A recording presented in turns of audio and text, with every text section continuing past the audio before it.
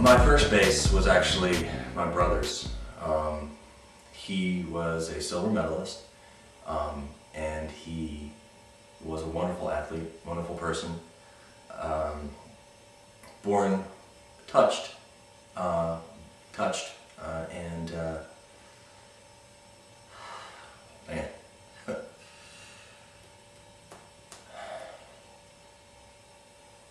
if I can win,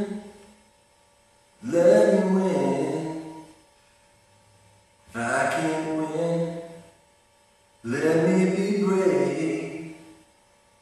If I can win, then win. If I can't win,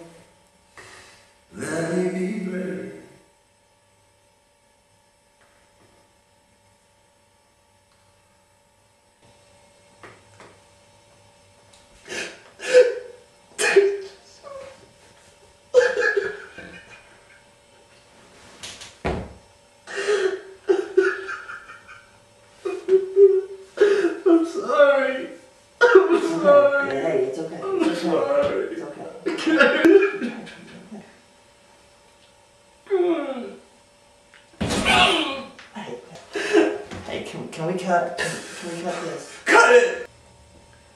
I look at Double Bass as really a charity project. Um, double Bass.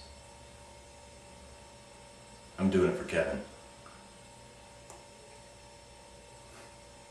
Double Bass.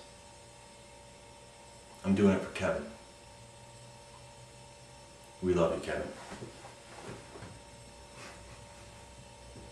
Are we done with this?